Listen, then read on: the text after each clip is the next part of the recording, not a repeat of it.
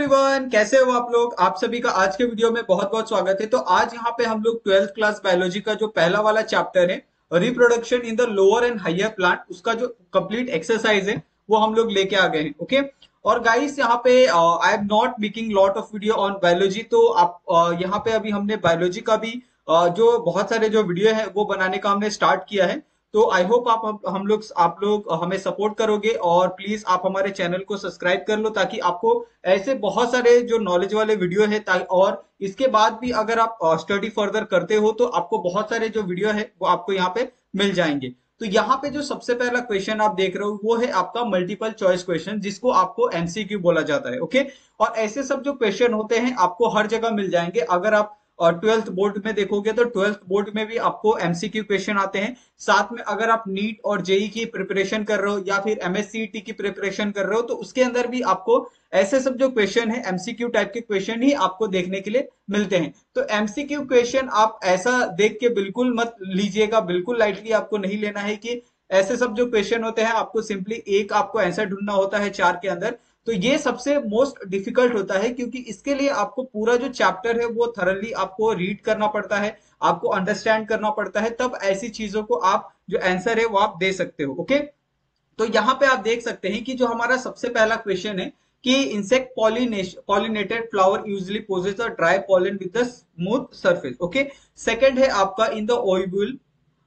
meiosis occur in the megaspores mother cell third है आपका the Plody level is not the same in the secondary nucleus and the endosperm. Uh, which of the following type require the pollinator but result is uh, genetically similar to the autogamy तो इसका है क्लेस्टिगोमी ठीक है उसके बाद fifth वाले का जो ऑप्शन है यहाँ पे आप सी uh, वाला है ओके कॉटलियोडन उसके बाद सिक्स वाले का यहाँ पे अगर आप ऑप्शन देखो उसका जो आंसर है वो है आपका polar nucleus and the male gametes seventh का आंसर है आपका पोलन ग्रेन ओके उसके बाद यहाँ पे अगर आप देखोगे तो हम लोग सेकंड क्वेश्चन की तरफ़ मूव करते हैं, जो आपको very short answer type question दिया है, जिसमें आपको एक एक वर्ड्स में आपको आंसर लिखने होते हैं, या फिर एक सेंटेंस में आपको आंसर कंप्लीट करना होता है, और ऐसे सब जो क्वेश्चन होते हैं, आपको एक मार्क्स के लिए एग्ज़ाम के अंदर आते हैं ओके तो यहाँ पे आप देख सकते हैं कि name the part of the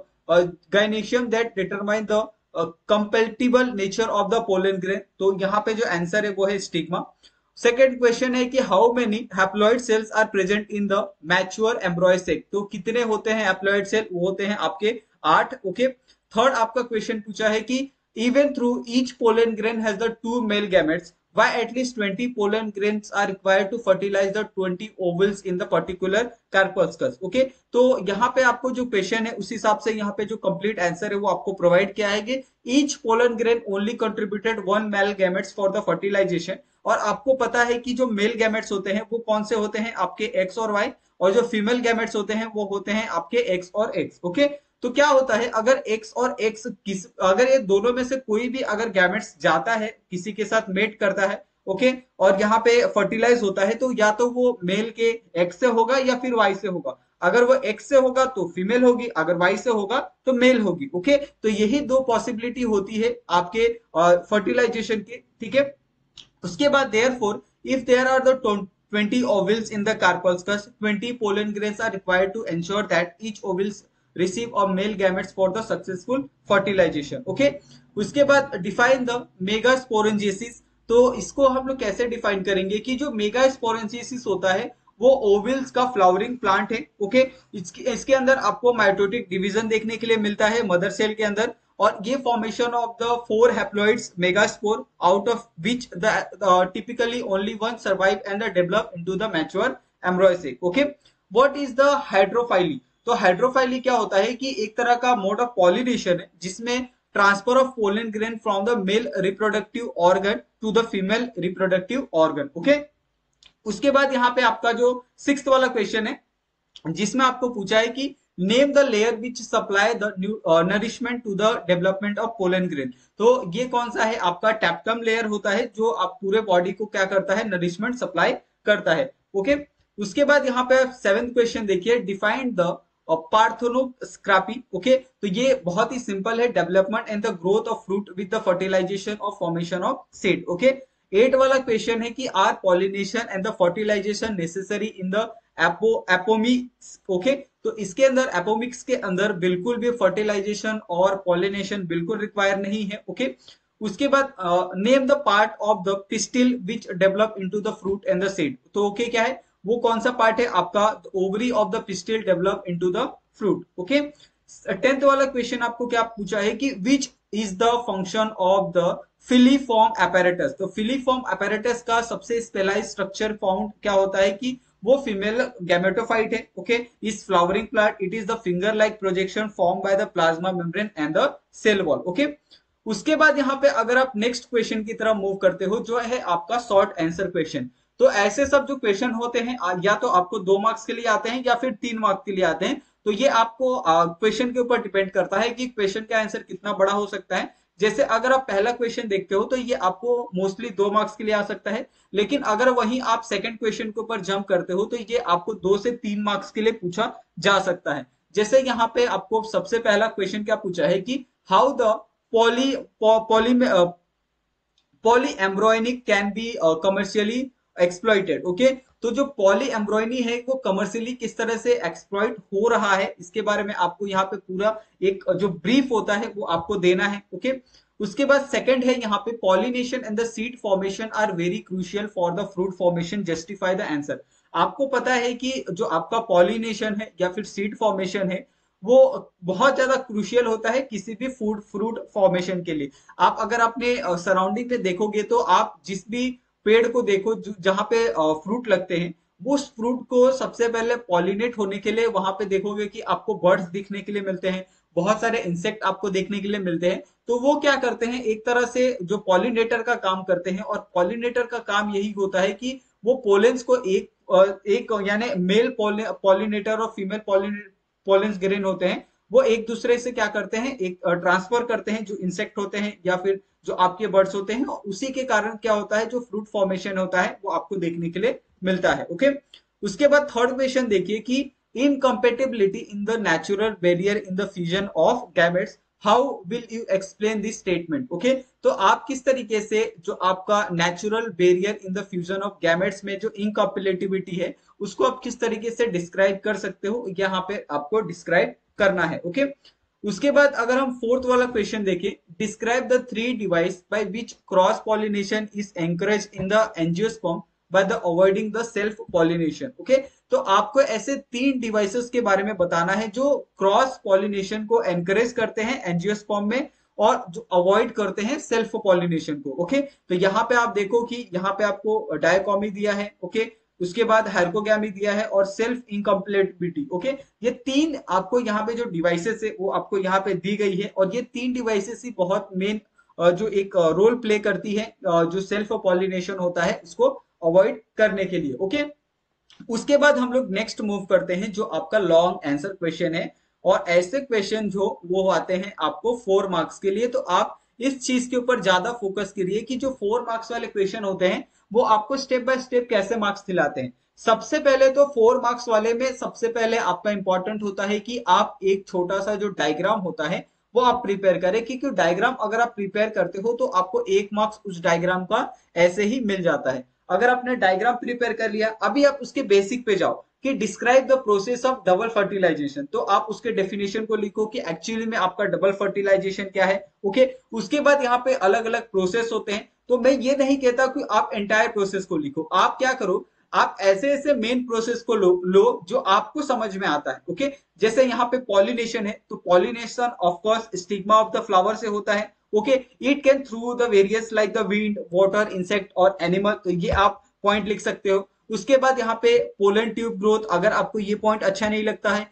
तो एंट्री इनटू द एम्ब्रॉयसेक यानी जो भी पोलन ग्रेन है, वो क्या करते हैं एंट्री करते हैं आपके एम्ब्रॉय सेक के अंदर। उसके बाद वो small opening of the ovules होता है, जो आपका एम्ब्रॉय होता है, जो आपका उसका पोलर न्यूक्लियस होता है, उसके अंदर वो एंटर करते हैं। उसके बाद उसके अंदर फर्टिलाइजेशन होता है, ये आप लिख सकते हो, और वो डबल फर्टिलाइजेशन को आप बता सकते हो, जिसमें फॉर्मेशन ऑफ़ जाइगोट आपको देखने के लिए मिलता है, और उसके अंदर डेवलपमेंट ऑफ़ एम्ब्रॉय आपको ये दो प्रोसेस आपको देखने के लिए मिलता है ओके उसके बाद आप एंडोस्पर्म फॉर्मेशन बता सकते हो, ये आप एक पॉइंट ऐड कर सकते हो, उसके बाद एम्ब्रॉय डेवलपमेंट किस तरीके से होता है, वो आप एक पॉइंट ऐड कर सकते हो, और इस तरीके से आपको चार मार्क्स के लिए अगर मैं कहूँ अगर आप डायग्राम बनाते हो डायग्राम के साथ आपको कम से कम चार या पाँच पॉइंट आपको लिखने हैं कोई भी प्रोसेस के ओके तो इस तरीके से आपको जो चार मार्क्स है वो आसानी से आपको मिल जाएँगे। उसी तरीके से यहाँ पे एक और सेकंड क्वेश्चन पूछा है, जिसके अंदर आपको explain the stage involve in the maturation of microspores into the male gametophytes okay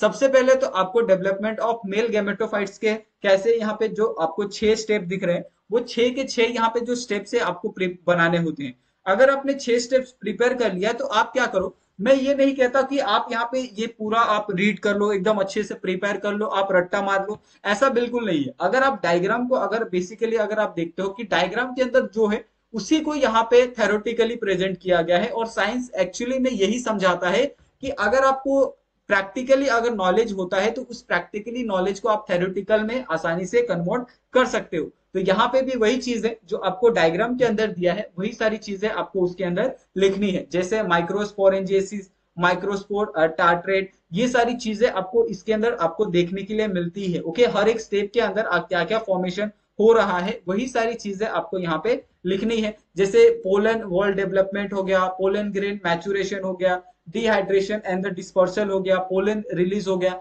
ये जो चार पाँच पॉइंट है, आपके जो मेन मेन पॉइंट है, आपको ये सारे जो पॉइंट होते हैं वो आपको लिखने होते हैं और इनके बारे में ही डिस्क्राइब करना होता है ओके उसके बाद यहाँ पे अगर आप थर्ड वाला क्वेश्चन देखते हो, जिसमें आपको पूछा है कि explain the development of dicot embryo okay अगर आप यहाँ पे देखो तो यहाँ पे भी हमने एक डाइकोट एम्ब्रॉय का पूरा एक जो स्टेप्स है, उसको यहाँ पे हमने बनाया है ओके तो क्या आप ये स्टेप्स देख के अपने जो आंसर है, आप बना सकते हो? बिल्कुल आप लिख सकते हो, इसके अंदर बिल्कुल भी दिक्कत नहीं आएगी। सिंपली अगर आप देखो तो पहले स्टेप में आपका फर्टिलाइजेशन हो रहा है ओके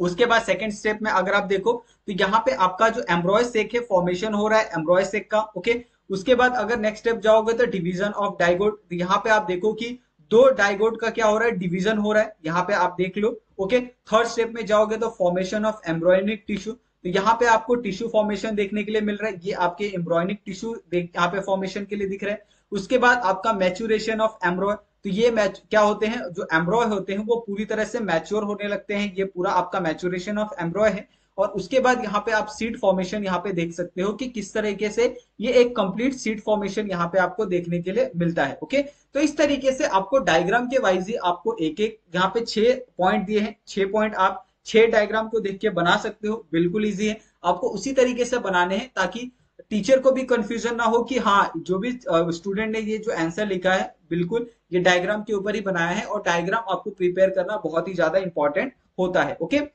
उसके बाद यहाँ पे आप देखो कि draw a label diagram of L S of anatropous okay ovules and list the component of embryo sac and the mention their fate after the fertilisation okay यहाँ पे हम जो एंट्रोपोस ओव्यूल्स है, उसका यहाँ पे एक डायग्राम बनाया है, जिसके अंदर अलग अलग जो भी इसके अलग अलग जो कंपोनेंट है अलग अलग जो इसके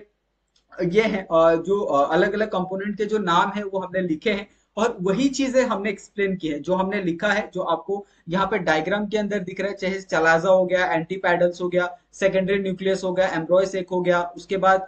सेनर्जी हो गया एक्स हो गया आउटर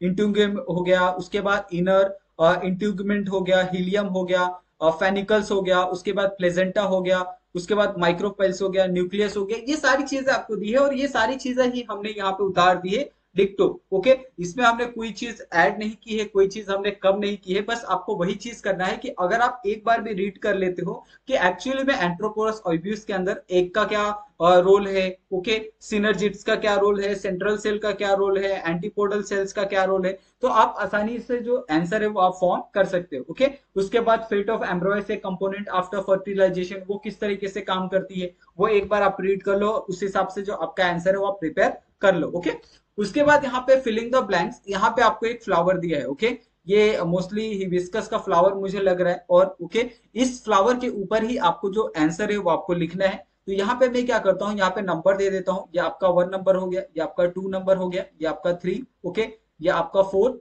ये आपका फाइव ये आपका सिक्स ये आपका सेवन हो गया ये आपका एट हो गया ये आपका नाइन हो गया और ये आपका टेन हो गया ओके तो इस तरीके से टोटल यहाँ पे टेन आपको जो फिलिंग द ब्लैंक्स है वो आपको दिए हैं आपको ये फिलिंग द ब्लैंक्स फिल करने हैं और ऑलरेडी हमने फिल करके दिया है आप वो रेफर कर सकते हो, ठीक है? उसके बाद यहाँ पे आपको क्वेश्चन नंबर सिक्स दिया है, जिसमें आपको label the plant of the seed यानी सीड के अलग अलग जो पार्ट्स होते हैं, उसको आपको लेवल करना है, वो भी हमने करके दिया है ओके अपने हिसाब से भी आप लेबल कर सकते हो, लेकिन ये आपका लेबल भी सेम ही आएगा, इसके अंदर कोई डिफरेंसेस आपको देखने के लिए नहीं मिलेगा ओके उसके बाद यहाँ पे मैच द कॉलम ये मैच द कॉलम में यहाँ पे आपको एक structure before the seed formation दिया है, और structure after the seed formation तो यहाँ पे आपको ऑप्शन दिए हैं ए बी सी डी और आपको यहाँ से जो आंसर है वो आपको मैच करना है। तो जो आपका ऑप्शन नंबर सी है ओके ए का आपका फोर आएगा, ठीक है? यहाँ पे मैं मैच द फॉलोइंग कर देता हूँ। ए का फोर आएगा बी का आपका फ़र्स्ट वाला आएगा, ठीक है? सी का आपका फिफ्थ वाला आएगा ओके और यहाँ पे आपका डी है डी का आपका सेकंड वाला आएगा ओके तो इस तरीके से आपका मैच द फॉलोइंग करना है और आपको नीचे देखोगे आपके एक्सरसाइज बुक के अंदर तो उसके अंदर आपको चार ऑप्शन दिए हैं और चार ऑप्शन में से आपको एक जो ऑप्शन है, उसको आपको करेक्ट करना है ओके उसके बाद यहाँ पे आपको प्रोजेक्ट दिया है। प्रोजेक्ट में आप देखोगे कि natural vegetation propagation by the leave only in the different vascular plant तो यहाँ पे आपको जो नेचुरल वेजिटेशन है वेजिटेटिव प्रोपोगेशन है लीव के अंदर, वो किस तरीके से होती है वैस्कुलर प्लांट के अंदर, उसका आपको एक क्या करना है प्रोजेक्ट बनाना है ओके यहाँ पे हमने बहुत अच्छे से एक प्रोजेक्ट प्रिपेयर किया है और आपको यहाँ पे हमने प्रोवाइड किया है। कभी भी अगर आप प्रोजेक्ट प्रिपेयर करती हो तो सबसे पहले तो आप उसका टाइटल लिखो।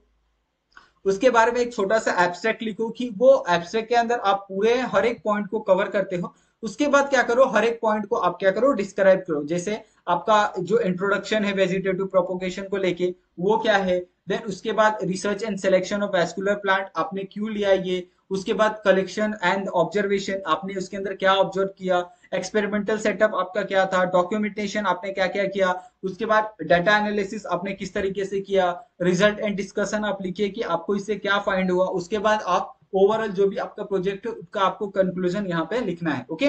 तो इस तरीके से यहाँ पे ये जो पूरा एक एक्सरसाइज है, यहाँ पे पहला वाला ट्वेल्थ क्लास का बायोलॉजी का, वो यहाँ पे खत्म होता है और अगर आपको फिर भी अगर कोई डाउट होगा तो आप लोग मुझे कमेंट करके जो भी आपके डाउट है, आप उसको क्लियर कर सकते हो, आपके सारे डाउट क्लियर करेंगे ओके और हमारा एक टेलीग्राम का भी ग्रुप है, आप उसको भी ज्वाइन कर सकते हो और वहाँ पे भी आपके जो भी क्वेश्चन है, आप हमें पूछ सकते हो ओके तो guys thank you so much आप सभी का वीडियो देखने के लिए और प्लीज़ आपसे यही रिक्वेस्ट रहेगा कि आप लोग हमें सपोर्ट करो और हमारे चैनल को सब्सक्राइब कर दो। आपको बहुत सारे इसके ऊपर जो ट्वेल्थ क्लास है, अगर आप साइंस आगे कंटिन्यू करते हो तो उसके ऊपर बहुत सारे जो वीडियो है आपको यहाँ पे मिल जाएँगे ओके तो थैंक यू सो मच आप सभी का वीडियो देखने के लिए। मिलते हैं हम लोग नेक्स्ट टॉपिक में।